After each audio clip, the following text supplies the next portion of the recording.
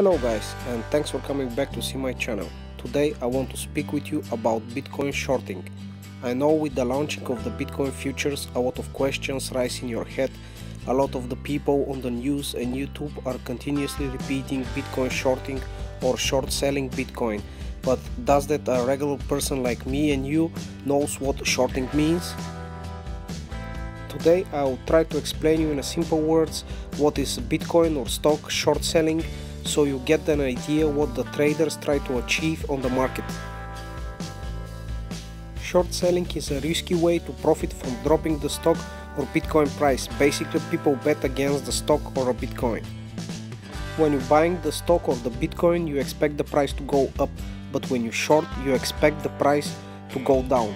That's exactly the inverse of going long. Let's take another simple example. Take a person named Bob. He heard that the Bitcoin is gonna have a big FUD and the price is expected to go down in the next 3 days. So he goes and borrow 1 BTC from the exchange or the stockbroker house for the price of 15k.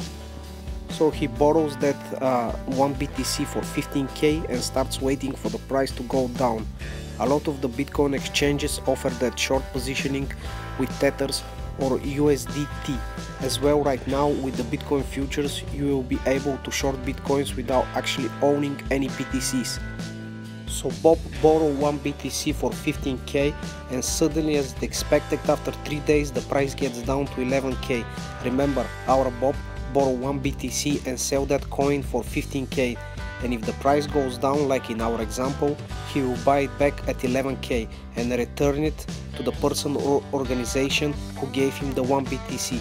In that case Bob made 4k pure profit because he believed that the price will go down and he short sell it. So in other simple words that's the whole shorting game. You borrow coins at certain price and short sell them in hope that they will get down in price so you can buy it back and return it and the difference in the price will stay in your pocket as a pure profit. Now let's check out the other side of the game. What will happen if you sell them short and the price suddenly go up?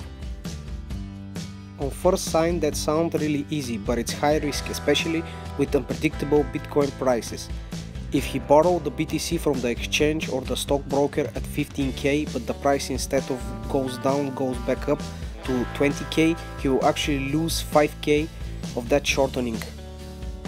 Again he will sell that 1 BTC at 15,000 with the hope that it will go down in price but he will be wrong and the price will go up with 5k.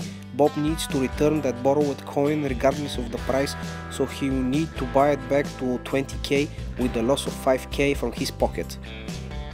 That is a high risk trading as I said before, especially with Bitcoin because we know it's a high volatility asset. So that's about it guys, I tried to explain you as simple as possible what is shorting and the next time you hear shorting or short selling Bitcoin or other assets, you will know what the person means by that. My only advice will be if you are not advanced trader not to do it because you can lose a lot of money and a lot of coins but if you decide to do that anyway you can try to use stop loss order to avoid big losses. Please guys check out my other videos because I'm sure you will find something useful in them and interesting maybe. If you liked my content of videos feel free to subscribe and follow me here on in Twitter. That's it guys, thanks for watching, see you next time.